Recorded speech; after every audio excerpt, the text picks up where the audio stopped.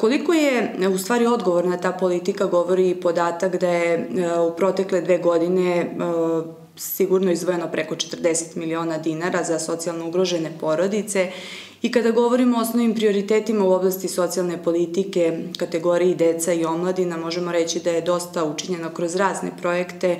Realizovani su projekti e, gde sada mladi imaju mogućnost da konstruktivno provode e, svoje vreme, e, da nauče neke nove veštine, ovaj, kroz projekte Dnevni boravak sa decu i omladinu. 2008. godine prvi put krenula ovaj, projekat Pomoć u kući, sve sa ciljem da se ta kategorija zaštiti i iznađu naj, najbolja moguća rešenja.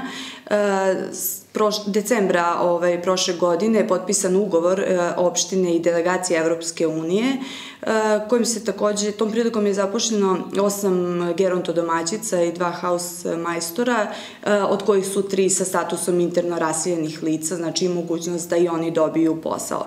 E, značajno je učinjeno i u pogledu davanja nekih osnovnih e, stvari vezanih e, ovaj, prava vezanih za narodnu kuhinju, za takođe ovaj jedan vid pomoći za socijalno ugrožene porodice, za penzionere sa niskim mesečnim primanjima.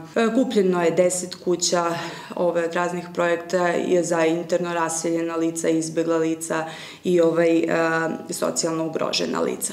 Opština Knjaževac je prepoznata u regionu kao opština koja jasno i odgovorno vodi socijalnu politiku. Prilog tome i ovaj priznanje koje je predsednik opštine dobio od ministra za rad i socijalnu politiku Rasima Ljajića, koji je istakao da ovaj, naša opština treba da bude primer ovaj, u vođenju jedne odgovorne socijalne politike.